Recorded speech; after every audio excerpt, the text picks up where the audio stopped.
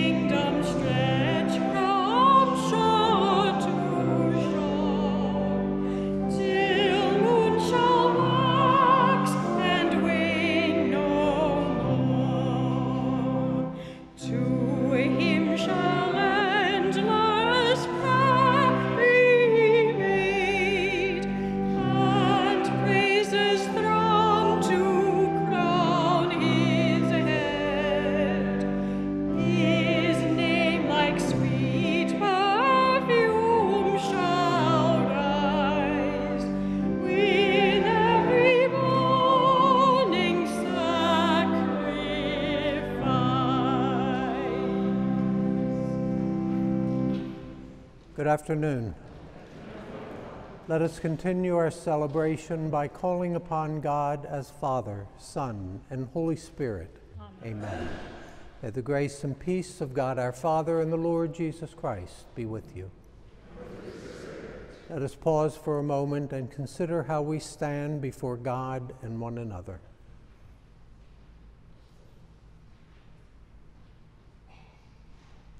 You were sent to heal the contrite of heart. Lord, have mercy. Lord, have mercy. You came to call sinners. Christ, have mercy. Christ, have mercy. You are seated at the right hand of the Father to intercede for us. Lord, have mercy. Lord, have mercy. May Almighty God have mercy on us, forgive us our sins, and bring us to everlasting life. Amen.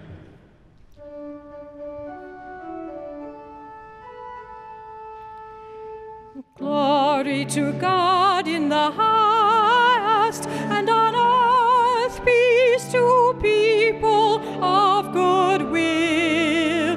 We praise you, we bless you, we adore you, we glorify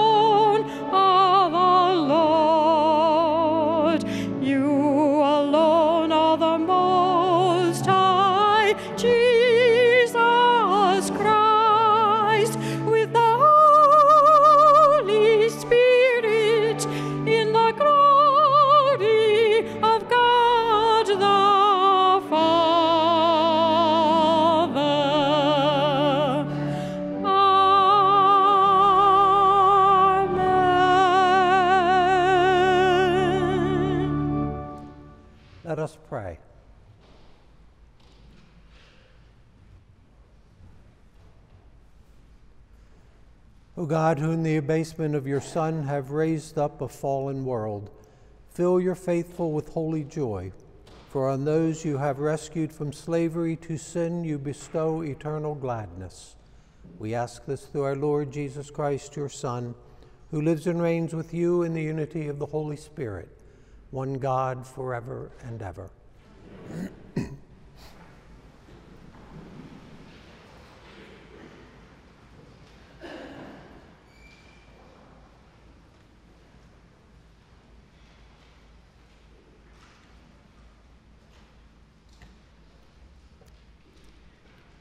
A reading from the book of the prophet Zechariah. Thus says the Lord Rejoice heartily, O daughter Zion. Shout for joy, O daughters Jerusalem. See, your king shall come to you. A just Savior is he, meek and riding on an ass, on a colt, the foal of an ass. He shall banish the chariot from Ephraim and the horse from Jerusalem the warrior's bow shall be banished, and he shall proclaim peace to the nations. His dominion shall be from sea to sea, and from the river to the ends of the earth. The word of the Lord. Thanks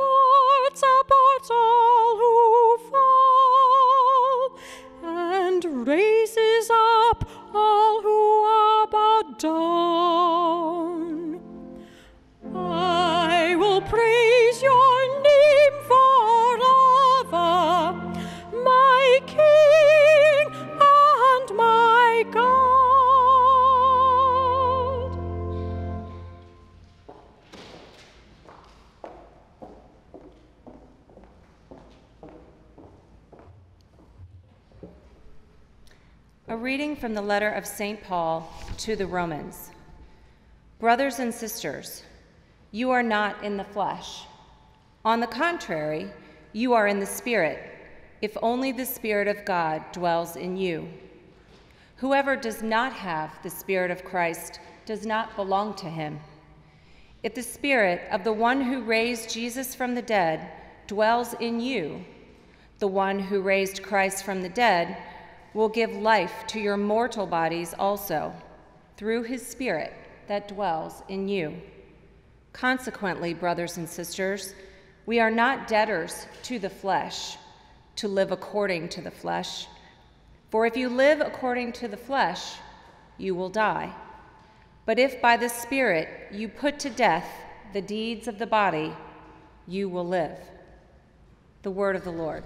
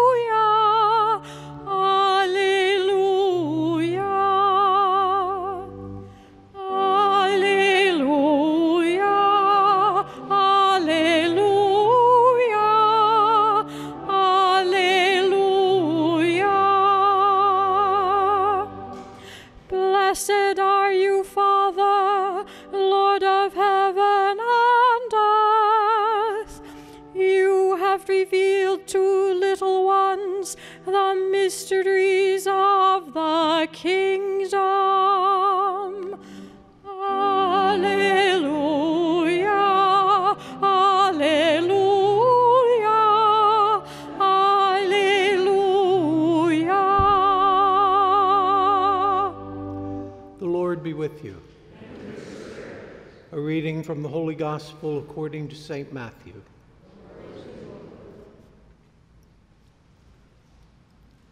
At that time, Jesus exclaimed, I praise you, Father, Lord of heaven and earth, for although you have hidden these things from the wise and the learned, you have revealed them to the little ones.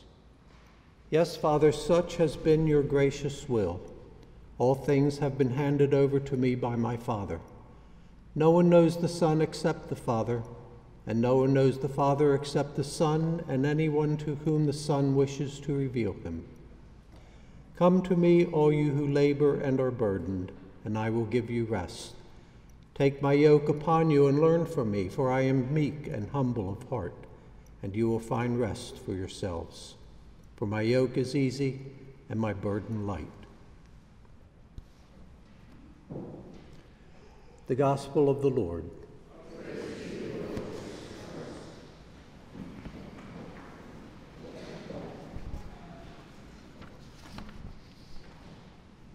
Come to me, all you who labor and are burdened, and I will give you rest. In the name of the Father, and of the Son, and of the Holy Spirit. Amen. Not only was this passage from St. Matthew's Gospel a favorite of St. Francis de Sales, but he based his entire spirituality on this passage gentleness, humility, compassion. Among other titles given to our Blessed Francis de Sales, he is often referred to as the gentleman saint. In his introduction to the devout life, he writes Take care that gentleness and humility are found within your heart. Little by little, bring your quick mind around being patient, gentle, and humble and affable in the midst of the pettiness, in the midst of the childish, in the midst of the imperfection of others. Humility and gentleness are true goods when they preserve us from the inflammation and swelling that injuries usually cause in our hearts. Francis does not exclude ourselves from the need of gentleness and compassion either. He believed that one of the best exercises in gentleness that we can perform is to ourselves.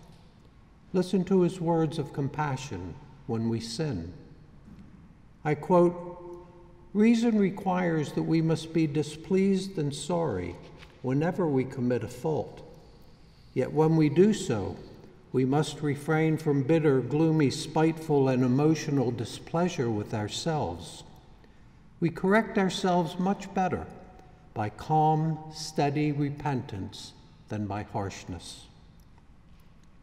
Even when we find that we have committed sin, Francis wants us to recognize it, to confess it, and to develop a strategy to remain from committing that same sin. But he wants us to do that in a reasonable and in a compassionate way. He writes, Alas, my poor heart, here we are, fallen into the pit we so firmly resolved to avoid. Well, we must get up again and leave it forever. Let us start out again on the way by trusting God, because God will help us if we help ourselves. Francis was far ahead of his time in knowledge and application of solid, healthy, sound psychology based on a true understanding of Christian humanism. He realized that inward peace develops when we have confessed, made amends, and incorporated a reasonable and healthy strategy to change. And so he recognized that when you are inwardly peaceful, what is sometimes referred to today as mindfulness, he realizes that when you are inwardly peaceable, you are able to perform many acts of gentleness, and by doing so, develop a spirit of compassion, of compassion not only with others, but with oneself. Listen to his words. As long as reason rules and peaceably chastises, corrects, and warns, even though firmly and exactly, everyone can accept it. He ends that section of the introduction to the devout life writing If we find ourselves aroused to anger, we must call on God's help, like the apostles did when the wind and the storm tossed them about. We must remember this life is only a journey to the happy life to come. We must march as companions, united in gentleness, in peace, and in love. Francis warns us to realize that we are not alone in our struggles to life. We are not alone to live a consistent life with the teachings of God. We not only have each other on earth to support us, but we are part of an even larger community the communion of saints and angels. But it's not magic. We must do our part consciously and willfully, accepting the graces that God sends us, and by using them wisely, reasonably, and in a healthy way to develop concrete strategies to correct our sinfulness. With serious, repetitive, and habitual behaviors, Perhaps God's grace is directing us to spiritual direction or to pastoral counseling to assist in developing these strategies. Today's, God, today's gospel emphasizes that we are never alone. We don't have to face life's challenges and struggles feeling abandoned or unaided. We are part of an active, grace filled community. We are part of a church. Think of being in that boat with the apostles when the wind and the storm tossed them about. They depended on each other and they depended on the grace and the presence of Christ. Let us do the same. And may that same God bless each of you as Father, Son, and Holy Spirit. Amen.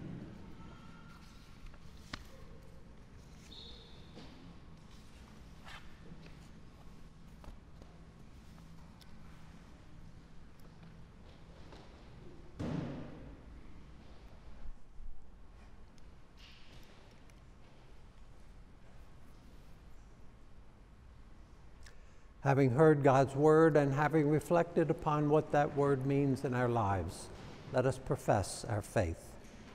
I believe in one God, the Father Almighty, maker of heaven and earth, of all things visible and invisible. I believe in one Lord, Jesus Christ, the only begotten Son of God, born of the Father before all ages, God from God, light from light, true God from true God, begotten, not made, consubstantial with the Father. Through him all things were made. For us and for our salvation, he came down from heaven, and by the Holy Spirit was incarnate of the Virgin Mary and became man. For our sake, he was crucified under Pontius Pilate. He suffered death and was buried. He rose again on the third day in accordance with the Scriptures.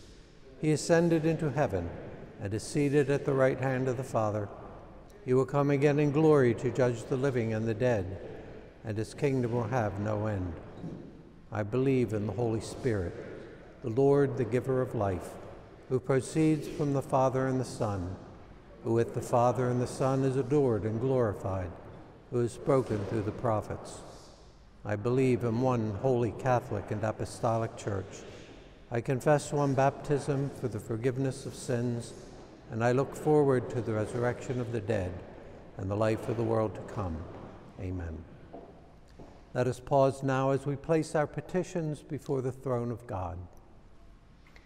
For all of our church leaders, especially Pope Francis, Bishop Burbidge, and our parish priests, that they will preach the gospel with courage and conviction, we pray to the Lord. Lord, hear our prayer. For our nation, that together we will promote the common good of all safeguard the sanctity of marriage and the family, and defend the rights to life and to religious freedom. We pray to the Lord. Lord, hear our prayer. For justice, security, and peace among nations, and for those who serve in our law enforcement, military, intelligence, and diplomatic services to make peace, we pray to the Lord. Lord, hear our prayer. For the end of the war in Ukraine, the withdrawal of Russia, and the restoration of justice. We pray to the Lord. Lord, hear our prayer. For Christians who face persecution and genocide, especially in communist and Islamic countries, that the Holy Spirit will keep them strong in the faith, and for all non believers, that the Holy Spirit will move them to faith in our divine Savior. We pray to the Lord. Lord, hear our prayer for the acceptance of vocations to the priesthood and religious life, that young men and women from our own families will heed Christ's call and offer their lives to Him who gave His life for us. And for our parish seminarians, Deacon James Joseph, Gabriel Godet, Michael Gibbons, and John Anthony Bueno. And for Sister Monica Baptiste Whalen and Sister Abigail Therese Jones, novices for the Dominican Sisters in Nashville we pray to the Lord. Lord, hear our prayer. For the sick and homebound and our deceased, especially Lucille Milcarrick, John H. Wee, Nguyen Long, and Catherine Dutcher, we pray to the Lord. Lord, hear our prayer. For Mary Abigail Healy, for whom this Mass is offered, we pray to the Lord. Lord, hear our prayer for our own personal intentions held in the quiet of our hearts. We pray to the Lord. Lord, hear our prayer. Almighty Father, we come before you this afternoon with our prayers and petitions. We ask you to hear the petitions which we have spoken aloud and all the prayers and petitions each of us holds in our hearts. We place them before you in the name of Christ Jesus, your Son. Amen. Our offertory hymn is number 707. I heard the voice of Jesus say, number 707.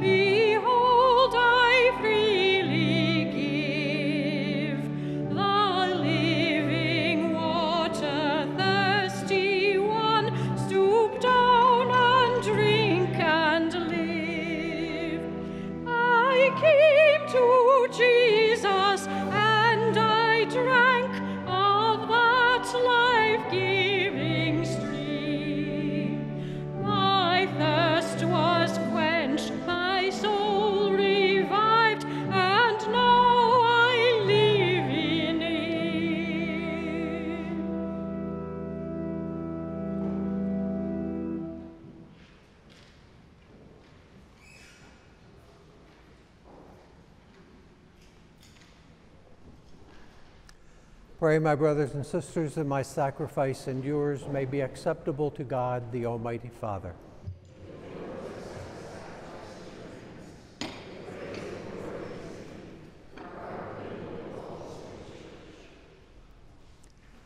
May this oblation dedicated to your name purify us, O Lord, and day by day bring our conduct closer to the life of heaven. We ask this through Christ our Lord.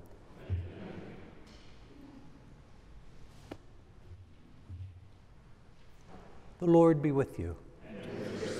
Lift up your hearts. Let us give thanks to the Lord our God.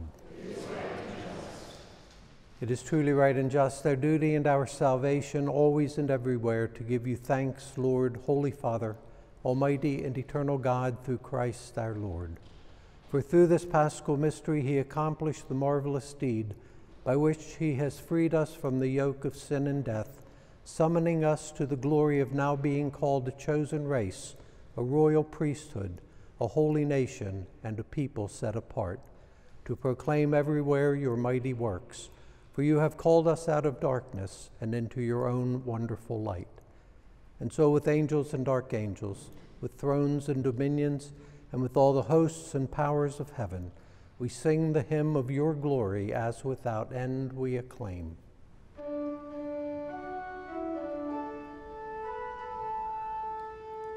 Holy, holy,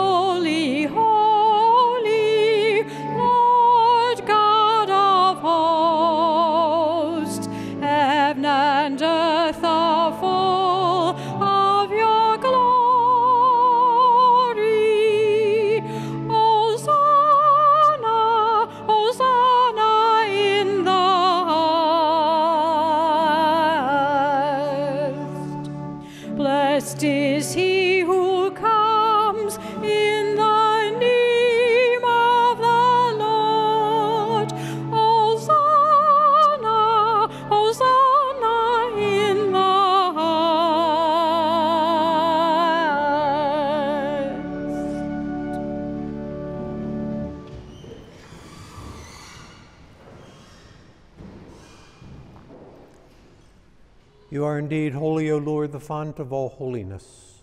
Make holy, therefore, these gifts, we pray, by sending down your Spirit upon them like the dewfall, so that they may become for us the body and blood of our Lord Jesus Christ. At the time he was betrayed and entered willingly into his passion, he took bread and, giving thanks, broke it, gave it to his disciples, saying, Take this, all of you, and eat of it. For this is my body, which will be given up for you.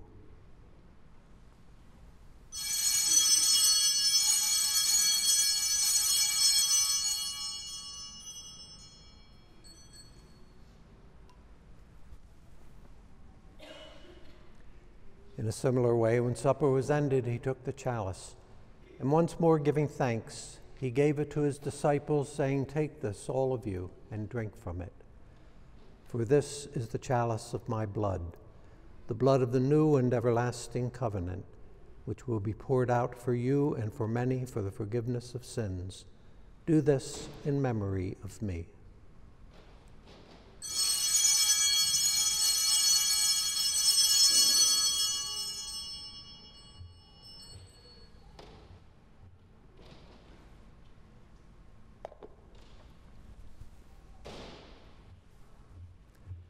The mystery of faith.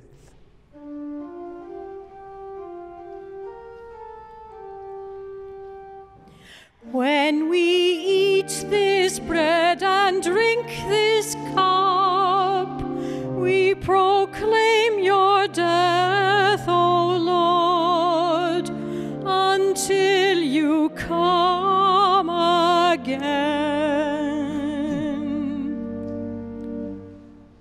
Therefore, as we celebrate the memorial of his death and resurrection, we offer you, Lord, the bread of life and the chalice of salvation, giving thanks that you have held us worthy to be in your presence and minister to you.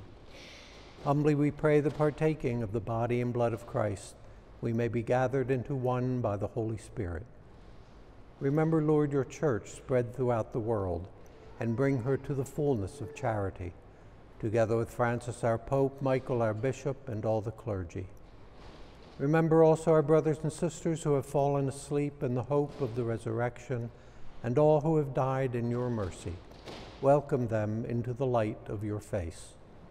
Have mercy on us all, we pray, that with the Blessed Virgin Mary, Mother of God, Saint Joseph, her spouse, with the blessed apostles and all the saints who have pleased you throughout the ages, we may merit to be co heirs to eternal life and may praise and glorify you through your Son, Jesus Christ.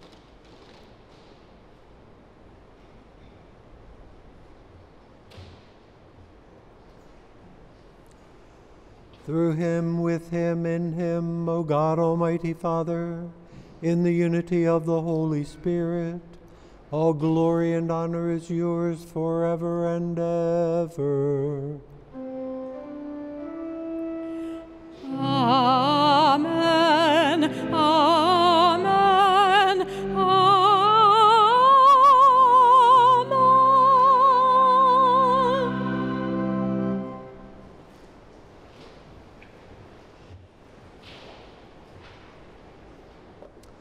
Jesus taught us to call God our Father, and so we have the courage to say, Our Father, who art in heaven, hallowed be thy name. Thy kingdom come, thy will be done, on earth as it is in heaven. Give us this day our daily bread, and forgive us our trespasses, as we forgive those who trespass against us. And lead us not into temptation, but deliver us from evil.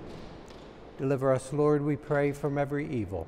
Graciously grant peace in our days, that by the help of your mercy we may always be free from sin and safe from all distress, as we await the blessed hope and the coming of our Savior, Jesus Christ.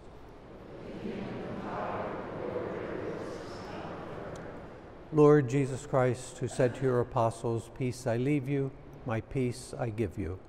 Look not on our sins, but on the faith of your church, and graciously grant her peace and unity in accordance with your will, who live and reign forever and ever. May the peace of the Lord be with you always. Let us offer to one another a sign of Christ's peace.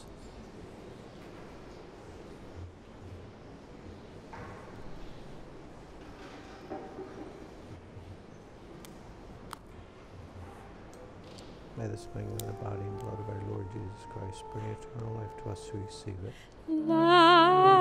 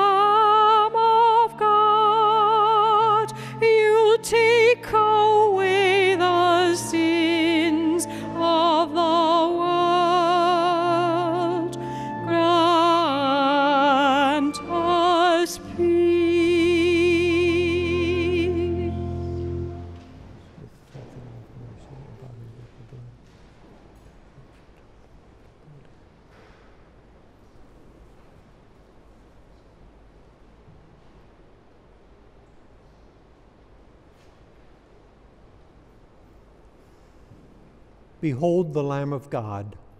Behold him who takes away the sins of the world. Blessed are those called to the supper of the Lamb. Lord, I am not worthy that you should enter under my roof, but only say the word, and my soul shall be healed.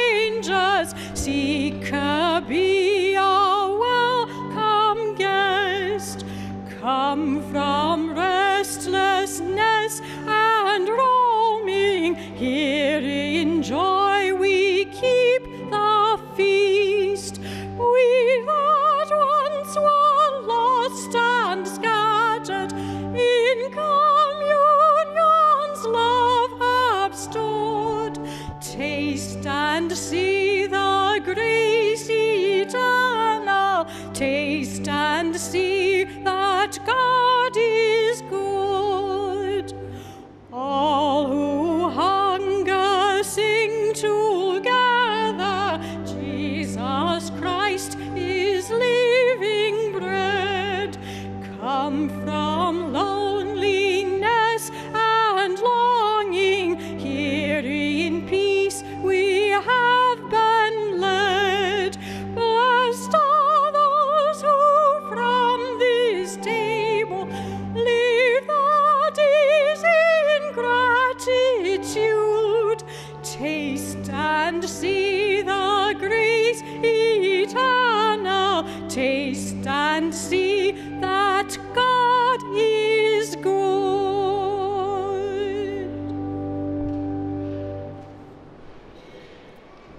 We have only one announcement this evening. Our Poor Box collection this weekend is for the Red Cloud Sioux Indian School staffed by the Jesuits on the Pine Ridge Reservation in South Dakota. Let us pray.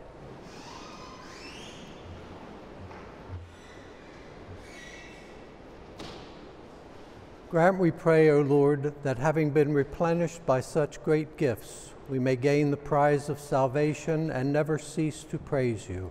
Through Christ our Lord. May the Lord be with you. May Almighty God bless you, the Father, the Son, and the Holy Spirit. The Mass is ended. Go in peace. Our recessional hymn is number 610, Praise My Soul, the King of Heaven, number 610.